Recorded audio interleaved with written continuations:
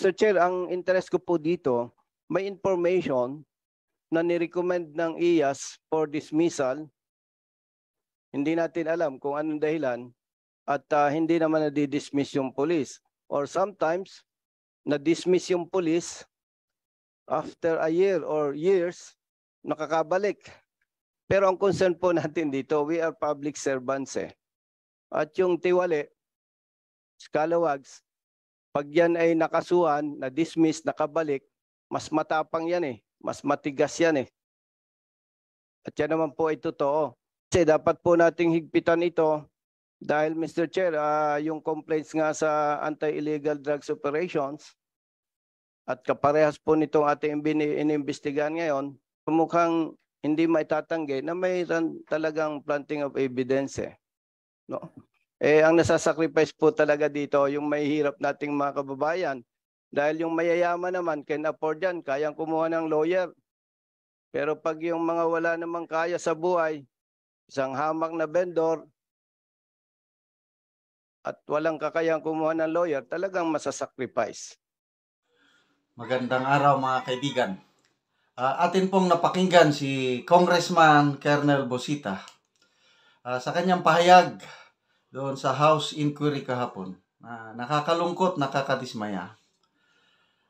Sabi niya, totoo yung planting of evidence na nangyayari, ginagawa ng, hindi naman lahat, mang ilang-ilang pulis uh, kontra sa mga inosenteng sibilyan. At nakakaawa ang mga pobre na hindi kayang kumuha ng abogado Ayan, makukulong na lang sila dahil tinaniman sila ng ebidensya. Grabe. And again, hindi naman sa lahat, sa aking experience sa military, military service, I have known some instances na ang kawawang sibilyan tinaniman talaga ng ebidensya. So, yeah, mga police scalawags na yan, kinakasuhan, kailang pagdating na sa nirecommend na ng Internal Affairs Service. Again, tama yung sabi ni, I can attest, yung sabi ni Colonel Bosita na ang karamihan hindi nadidismiss. Wala lang. Uh, tabon-tabunan yung papel hanggang makalimutan yung recommendation ng IAS. Bakit? Kasi yung mga police scalawags na yan, may mga amo na mga higher ups nila na mga protector nila. Ulitin ko, mangilan-ilan naman lang na yan, kailang nakaka-apekto sa buong imahe ng ating PNP. So yung iba na nadidismiss, nakakabalik sa serbisyo.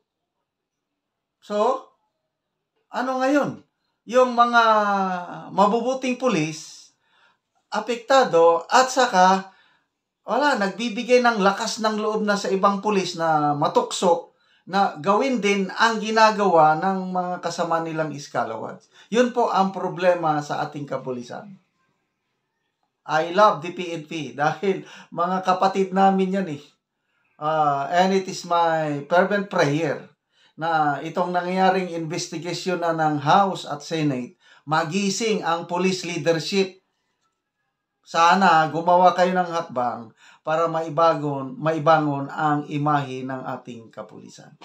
So panoorin natin ang buong detalye sa investigasyon ng House uh, Committee on Dangerous Drugs na medyo nagsanga na yung uh, focus galing sa illegal na droga dito na sa tanim ebidensya. Okay. For that matter, Mr. Chair, pwede po bang uh, mairekomenda na by the next hearing po natin, ma-present ni uh, IAS itong uh, 297 with the uh, validation kung na-dismiss po ba lahat ito? Pwede po ba, Mr. Chair? Yeah. By all means, uh, Congressman uh, uh, Busita. Go. Uh... Yes, thank you, Mr. Chair. Mr. Chair, ang interest ko po dito, may information na nirecommend ng IAS for dismissal hindi natin alam kung anong dahilan at uh, hindi naman na-dismiss yung police. Or sometimes, na-dismiss yung police after a year or years, nakakabalik. Kasi po, alam nyo po natin, Mr. Chair, pag yung police na sabihin natin, ah, by the way, we love PNP, no? Ni, mahal namin ni General Acop. Pero ang concern po natin dito, we are public servants eh.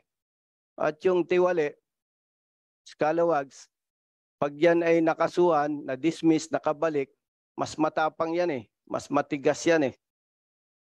At yan naman po ay totoo. So yun po Mr. Chair, kaya gusto po natin uh, with uh, all due respect sa iya sa Inspector General na next meeting po, submit nyo po itong report ninyo with 297 dismissals from the service and uh, mag-coordinate po kayo sa DPRM kung ano na po ba ang nangyari dito, kung meron bang na-reverse ang decision or may nakabalik sa service.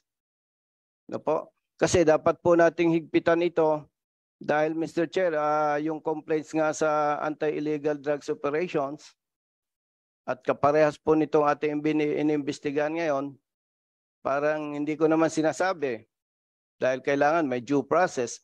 Pero mukhang hindi maitatanggi na may talagang planting of evidence eh. No?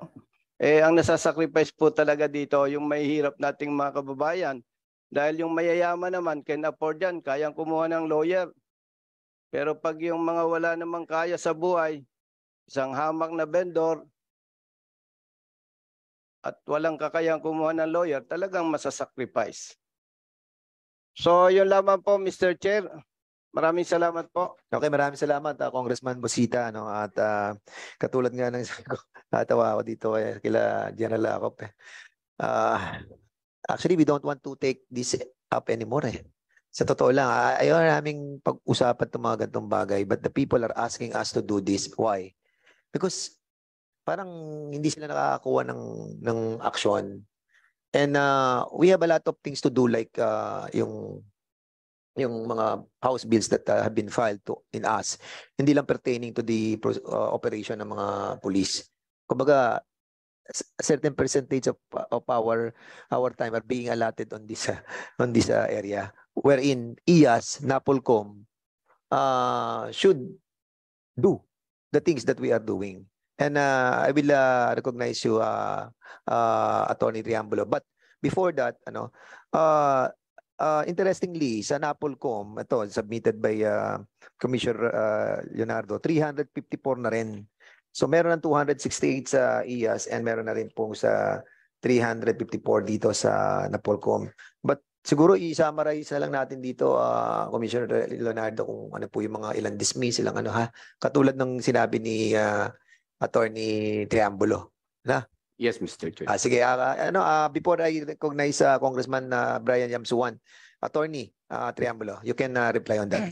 Uh, yes, sir. Uh, itong problema nito, sir, matagal nang nakita ko dito. So, uh, maraming nagko-complain yung mga tao and then sabi na ng pulis, uh, uh, beyond par daw yung kanilang trabaho. Kaya sabi ko, para magkakaroon tayo ng ano kasi di, di yung IAS kasi yung mandato is to champion the integrity of the police service. So para ma-address natin itong uh, uh, dalawang conflicting theme, allow the IAS to investigate. Umikot po ako sa buong probinsya, kinausap ko yung mga investigador. Once may operation kayo, you inform to us. Kasi mandato namin po iyon na may moto proprio investigation ng lahat ng lapses ng operation. So hindi kami po in-inform sir, kaya ito lang po yung dumadating sa amin. Ayun. Ngayon, ang gusto namin sana sir na ganito, na isa-suggest ko nga kay Chief PNP, kasi nasa focus, uh, sa five focus agenda yung integrity, na lahat ng mga operation nila, i-inform kami para we validate doon sa mga operation nila kung may mga lapses. And then, kung walang mga lapses, sabihin namin ito, yung operation ito good, ito ay imbestigahan namin. Then in connection doon sa body cam sir, uh, I propose kung mamarapatin po ni Mr. Chair na may provision doon na bibigya, i-inform po yung IAS pag ginagamit po yung uh, uh, body cam para ma-validate po namin, ma-review namin kung part ng aming inspection or audit, audit po namin yon sa mga estasyon kung talaga po ay walang mga lapses doon sa kanilang operasyon. Pag mga ganun sir, ma-address po natin itong ah, integridad sa operation kung ng PNP. Saka in relation to that, ano, ah, Attorney uh, Triambulo, no, ah, nakita ko dun sa um, 288 million na pinurchase nating body-worn camera. Purchase to ha. Ah, 17 million naka-allotted sa training ng mga operatiba natin on how to use the body-worn camera. Kaya nga kanina, ka- anong last hearing, hindi ko rin masyadong sinisisa sila Major Sino during that time. Kasi nga, ah, I think may lapse ang ating ah, kapulisan pagdating dun sa training. Kasi kinausap ko to si Dimaya eh. Saka to sila Landicho kung nagkakaroon ng training. Uh, Nagbabase lang daw sila dun sa sa ano sa police ah, procedures.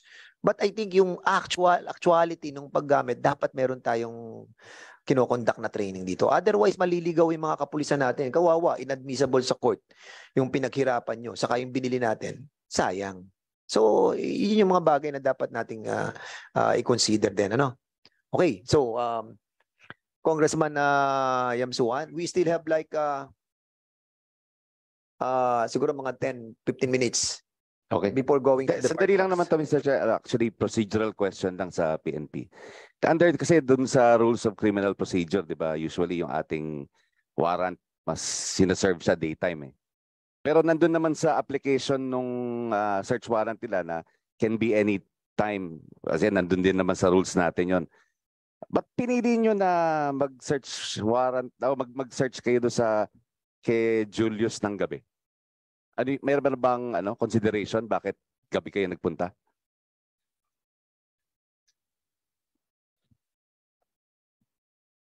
Your Honor, uh, as explained a while ago, kaya po namin minabuti na iserve ito nung gabi, Your Honor, kasi prior to the implementation of the search warrant, uh, we felt na nag-leak yung information because prior to the implementation, Your Honor, nag-surrender po siya ng ng airsoft or toy gun sa CIDG Laguna PFU, Your Honor. So, para sa amin, baka yung information is uh, lumabas nga po. That's why we felt the urgency, Your Honor, na iserve na siya ng 12 ng gabi, Your Honor. At saka yung classmates niya, nag, nag-ano sa inyo, nag-OJT. Yes, Your Honor. Okay, sige. Thank you very much, Mr. Chair. Yun lang. Ah, s- Major Sino saka sa grupo ninyo no. Um when you uh, applied for the uh, search warrant ano, yung complainant nandoon kasama ni uh, Captain Santos, am I right? Yes, Your Honor. Tama ano. Ah Captain Santos, ah nung nag-apply kayo ng um, ng search warrant, ah kasama nyo si ano si si James Opo, Your Honor. sa Lucena. Opo. Ah, okay. Subscribe to SMNI News Channel and turn on the notification bell to keep you up to date. Also visit our official social media accounts and join our community on Viber and Telegram.